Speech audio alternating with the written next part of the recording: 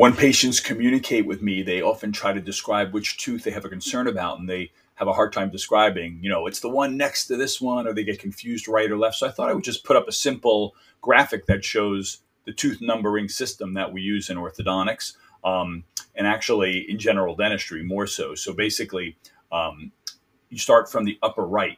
Tooth number one is the wisdom tooth. This patient does not have the wisdom tooth. And then you go across two, three, four, five, eight is the tooth that is your right central incisor. It can be confusing looking at the screen. This is the patient's right, like they're looking out at us. Goes across to 15, down to 18. Again, 16 would be the upper left wisdom tooth. Um, now, uh, interesting fact, even dentists don't know this sometimes, that if you add uh, a tooth to its opposing tooth on the bottom, you get 33 each time. Uh, but the system that you also could use um, that is not depicted here, that is called Palmer, Palmer notation that orthodontists usually use, would be this is the upper right quadrant, this is the upper left quadrant, this is the lower left quadrant, and this is the lower right quadrant.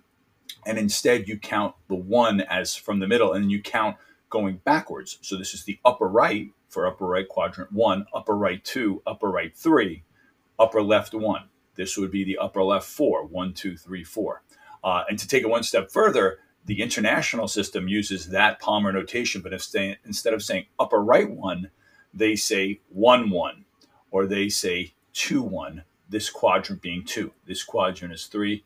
This quadrant is number four. Now take out your pens and pencils. Are you ready for the final exam on this?